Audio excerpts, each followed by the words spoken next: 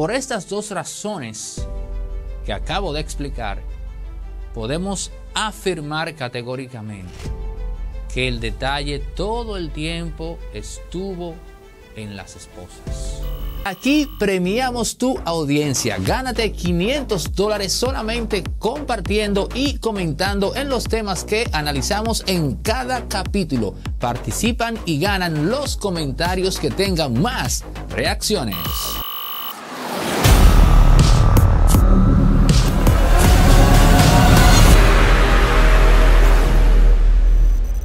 Si ya has decidido emprender tu proyecto audiovisual para promocionar tu empresa o cualquier emprendimiento, te voy a revelar algo. Hace falta más que simplemente tener ganas y deseos para que quede 1A. Y es ahí justamente donde entra Resorte Media para hacer realidad que tus contenidos queden con calidad al más alto nivel grabando con nuestras cámaras, nuestros equipos de audio, nuestras luces para que quede al nivel que estás viendo en Impolíticamente Correcto. Llámanos o escríbenos al 849-638-8652 y nos ponemos de acuerdo. El detalle está en las esposas. El factor que explica el deceso de David de los Santos está en las esposas. Y paso a explicar. Cuando un detenido es llevado a una clínica, trasladado, hay un protocolo por temas de seguridad que es básicamente muy simple. Si te lo entregaron esposado, tú tienes que atenderlo esposado.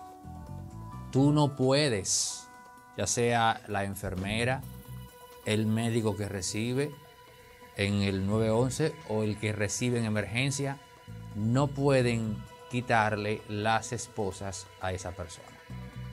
Eso es entendible en el esquema de que se trata de un protocolo de seguridad porque tú no sabes el nivel de violencia que preserve para sí esa persona. Tú no sabes si es un Ted Bundy, aunque caramba, de repente Ted Bundy solo actuaba con féminas y en puntos precisos. Pero amén, tú mantienes a la persona esposada y se supone que tú la atiendes. Y aquí la palabra se supone no está de más. La puse ahí con premeditación y alevosía, como dice la famosa frase aquella. El detalle está en las esposas.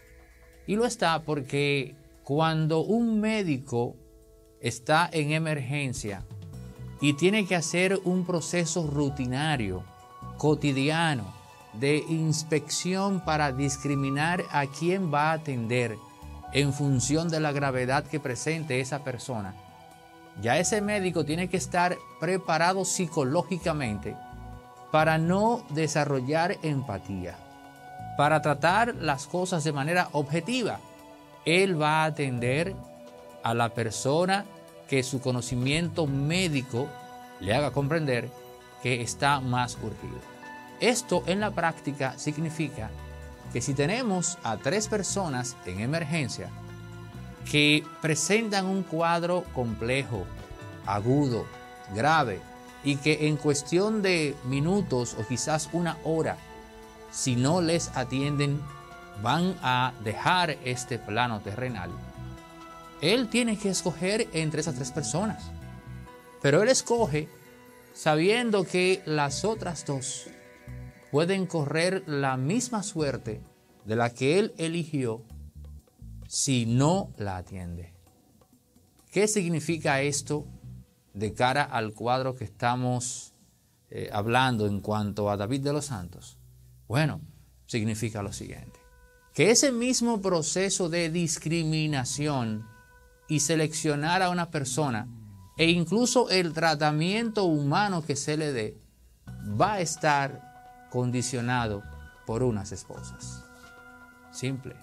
Tengo seis o siete personas que atender y veo de repente una que está esposada. Yo como médico infiero que se trata de un delincuente.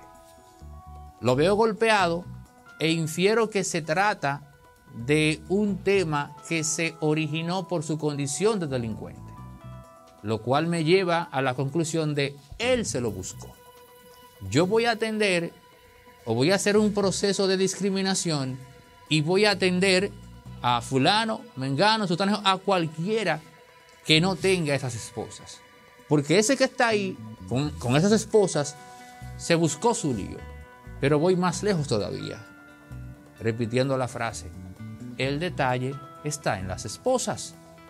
Veo a fulano e incluso cuando lo voy a tratar, no lo trato con el mismo ahínco y esmero, porque se trata de un delincuente. Si bien explicamos en un comentario anterior que identificarlo como un loco activó el botón del desenfreno, ¿no? De quitarle todo lo inherente al ser humano y arremeter con ultraviolencia hacia él, una vez en la clínica o el hospital esposado, operó otro filtro, operó otro prejuicio negativo, el de un delincuente, el de un antisocial.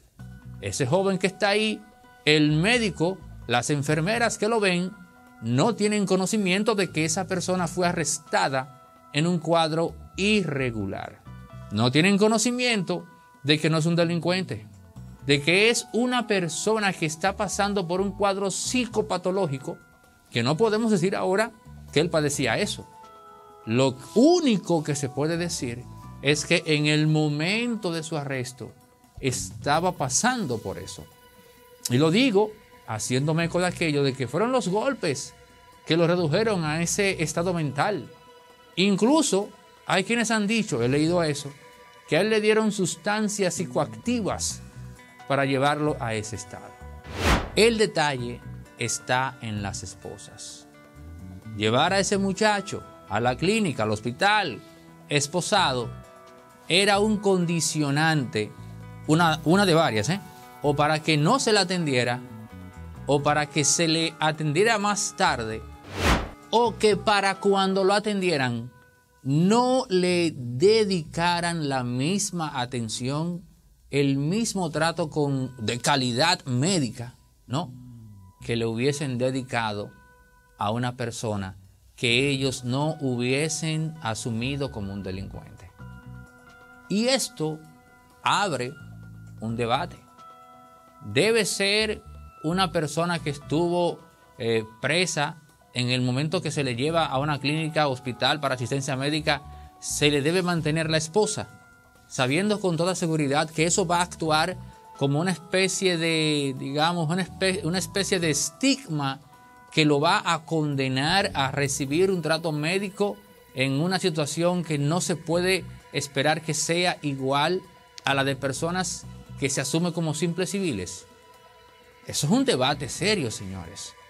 Pero las esposas siguen revelando detalles en el nivel de crueldad. Porque si bien es cierto que él estaba esposado, hay un detalle ulterior. Sus manos estaban hinchadas. Ambas tenían edema. Si usted deja unas manos hinchadas fruto de que el paso de la sangre se ha cortado porque las esposas están, digamos, muy muy apretadas, pasa que el oxígeno deja de llegar, esas manos hacen cangrena y después de unas cuantas horas, si no se atiende, ya ustedes saben lo que significa eso, ¿verdad? Y así esa persona pierde sus miembros, en este caso las manos. Pero en el caso de él, estaban así. A él le apretaron las esposas. Yo digo, bueno, Caramba, pero si está esposado, ¿cuál era la necesidad de apretarle las esposas? Y cuando usted ve el cuerpo, ve que las manos aún están hinchadas. Desconozco si los médicos saben cómo aflojar las esposas, pero queda claro que aún estando en recibiendo atención médica, entre comillas, él tenía las esposas apretadas y le estaban cortando totalmente el flujo sanguíneo. Por eso las manos estaban hinchadas. Por estas dos razones que acabo de explicar, podemos afirmar categóricamente que el detalle todo el tiempo estuvo en las esposas. La prueba de la tortura, la prueba de la desconsideración y quizás la prueba de la, yo no diría discriminación, porque la palabra discriminación a nivel semántico se está mal utilizando. Así que voy a buscarle otro concepto. Hablé de desconsideración, tortura y no sé si decir ninguneo.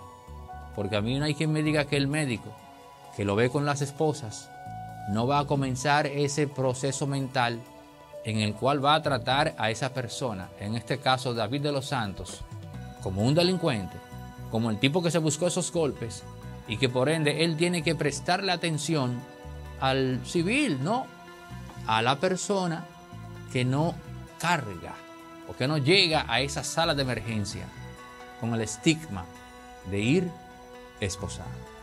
El detalle todo el tiempo estuvo en las esposas. El Agarra 4 de Lotedón sigue premiando a la madre dominicana y ese domingo también tenemos sorteo, así que ya lo sabes, madre. El ticket que juegues de Lotedón tiene un código al final del boleto. Míralo, pendiente a eso. Y es con ese código que tú vas a ganar un millón de pesos. Es importante que sepas que una madre dominicana se va a ganar eso sí o sí cada domingo del mes de mayo, avalado y garantizado por Proconsumidor. Ya lo sabes, mamá, el agarra 4 del Lotedón te espera este domingo con un millón de pesos. Energía eléctrica para toda la vida y de manera ininterrumpida gracias a los expertos en la instalación de paneles y celdas fotovoltaicas Ser Solar. Una sola inversión una gran solución para toda la vida. Ser Solar. Escribe o llama al número que ves en pantalla. Farmacia Medicar GBC es la farmacia de los dominicanos abierta de lunes a domingo con los medicamentos a un 20% de descuento y abriendo sus puertas en Puerto Plata. Farmacia Medicar GBC, la de nosotros los dominicanos.